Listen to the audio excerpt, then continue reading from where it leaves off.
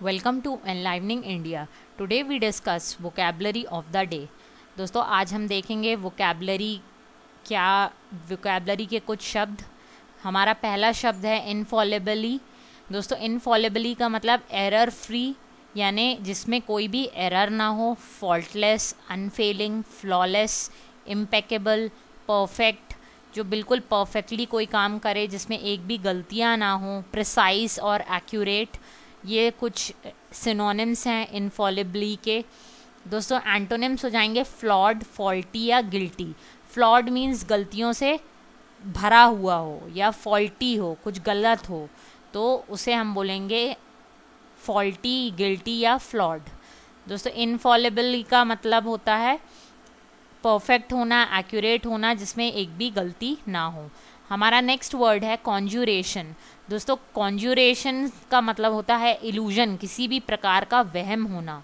Synonyms इसके हो जाएँगे कॉन्ज्यूरिंग समनिंग कंजरी एवोक्यूशंस ये सारे इसके सिनोनिम्स हो जाएँगे। किसी भी प्रकार का भ्रम होना इस कॉन्जुरेशन एंटोनिम दोस्तों इसका ऑपोजिट हो जाएगा फैक्ट या अनअट्रैक्टिवनेस फैक्ट मीन्स जो फैक्ट पे फैक्ट बेसिस पे जिए। मतलब जिसको सही चीज़ पता हो प्रैक्टिकली दोस्तों, आप ये पिक्चर्स में देख सकते हैं, ऐसा आपको देख के लगेगा, एक ये ओल्ड लेडी है एंड ये एक ओल्ड मैन है। लेकिन आप ये पिक्चर देख के इसमें समझ जाएँगे कि ये काफ़ी कुछ रिवील कर रही है। यहाँ पे एक यंग लेडी और यंग मैन है और यहाँ पे इसके कान में आप देख सकते हैं कि ये लड़की बाहर आ रही है। तो ये काफ़ी इसमें बहुत सारी पिक्चर्स छुपी हुई हैं। ये एक प्रकार की इल्यूजन क्रिएट करने वाली पिक्चर है। मीन्स ये कॉन्ज्यूरिंग पिक है। दोस्तों, हमारा नेक्स्ट वर्ड है ऑर्डील ऑर्डील का मतलब होता है ट्रायल ट्राइबुलेशन टेस्ट या नाइटमेयर या किसी भी प्रकार का ट्रॉमा होना। किसी भी चीज़ से डर जाना ऑर्डील और दोस्तों, इसका जस्ट ऑपोजिट वर्ड होता है enjoyment fun entertainment amusement diversion recreation और लेजर दोस्तों, ये है मीनिंग ऑर्डील का। नेक्स्ट वर्ड है हमारा लेजिटिमेट दोस्तों लेजिटिमेट का मतलब होता है राइटफुल लॉफुल जेनुइन ऑथेंटिक किसी भी चीज़ को सही ढंग से करना लॉफुली करना जेनुइन तरीके से करना ऑथराइज्ड और करेक्ट तरीके से करना इज़ लेजिटिमेट दोस्तों, इसके एंटोनिम्स हो जाएँगे इलीगल मतलब कोई भी काम गैर कानूनी तरीके से किया हुआ है that is ill illegitimate illegal prohibited lawless या क्राइम क्रिमिनल दोस्तों लेजिटिमेट का मतलब होता है मॉरली करेक्ट दोस्तों, हमारा नेक्स्ट वर्ड है स्केप्टिज्म दोस्तों स्केप्टिसिज्म का मतलब होता है डिसबिलीफ सिनिज्म मतलब डाउटफुल होना सस्पिशन होना, किसी भी चीज़ के बारे में शक करना या शंका रखना अपने मन में। इसको हम स्केप्टिसिज्म बोलेंगे एंटोनिम्स दोस्तों इसके हो जाएँगे सर्टेनिटी किसी भी चीज़ के बारे में श्योर होना डाउटफुल कंडीशन नहीं रह, रहेगी श्योर हो जाएगी सर्टेनिटी कन्विक्शन कॉन्फिडेंस ट्रस्ट दोस्तों स्केप्टिसिज्म का मतलब होता है डाउटफुलनेस या किसी भी चीज़ के बारे में शंका होना, कि कोई हमारी उम्मीदों पे खरा उतरेगा या नहीं तो वो एक स्केप्टिसिज्म है। हमारा नेक्स्ट वर्ड है फेलिसिटेशन दोस्तों फेलिसिटेशन का मतलब होता है एडमायरेशन कोई किसी का, किसी को एडमायर करे अप्लॉस करे कर्टेसी करे या एडुलेशन करे तो इसको हम फेलिसिटेशन बोलेंगे. इसके एंटोनिम्स होते हैं ब्लेम किसी को ब्लेम करना कर्स करना क्रिटिसाइज करना, एक प्रकार से ये फेलिसिटेशन के एंटोनिम्स हो जाएँगे. दोस्तों, आप ये देख सकते हैं, ये किसी परफॉर्मेंस पे लोग परफॉर्मर को फेलिसिटेट कर रहे हैं.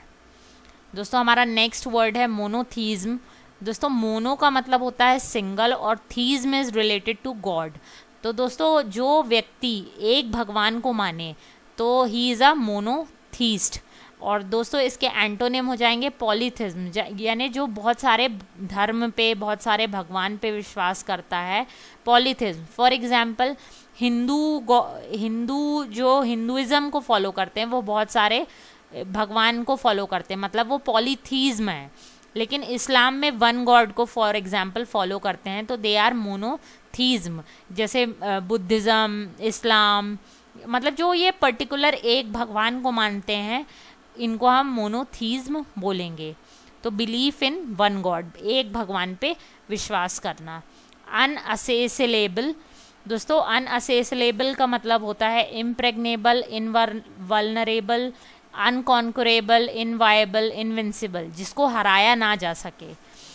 इसके एंटोनिम्स हो जाएँगे वलनरेबल या डिफेंसलेस जिसको इजीली हरा दिया जाए। तो दोस्तों ये आप एलेक्जेंडर द ग्रेट की पिक्चर देख सक दे, देख रहे हैं। ये ये एक ऐसा राजा था ग्रीक का जो किसी से भी हारा नहीं। ये अनकॉन्करेबल या अनअसेसेबल लेबल था। एनक्रोच दोस्तों एनक्रोच का मतलब होता है किसी भी जगह पे इलीगल तरीके से कब्ज़ा करना इंट्रूड ट्रेसपास या इम्पिंज करना। इसके एंटोनियम हो जाएँगे दोस्तों गिव इग्नोर कीप ऑफ़ मतलब वापस कर देना। मतलब अपनी सीमा से फॉर एग्ज़ाम्पल कई लोग अपना घर रोड्स में बढ़ा के बना देते हैं एनक्रोचमेंट्स में आ जाता है वो रोड फिर दोस्तों, आप ये देख रहे हैं कि ये एंक्रोच किया हुई जगह को ऐसे सरकारी गाड़ी तोड़ के खाली करा रही है कि रोड से अलग हो। नेक्स्ट हमारा वर्ड है डायबॉलिक डायबॉलिक का मतलब होता है सटैनिक या ईवल डेमोनिक या हेलिश दोस्तों बहुत ही ज़्यादा ईवल या डेमोनिक किस्म का व्यक्ति, बहुत ही ज़्यादा बुरा व्यक्ति, जो बहुत ही ईवल किस्म का हो, जिसके थॉट्स थॉट प्रोसेस एंड हर चीज़ एकदम डेमोनिक हो, ऐसे व्यक्ति को हम डायबॉलिक बोलेंगे। दोस्तों, इसके एंटोनिम हो जाते हैं काइंड ऑफ़ गुड आप ये देख सकते हैं this is are diabolic kind of person.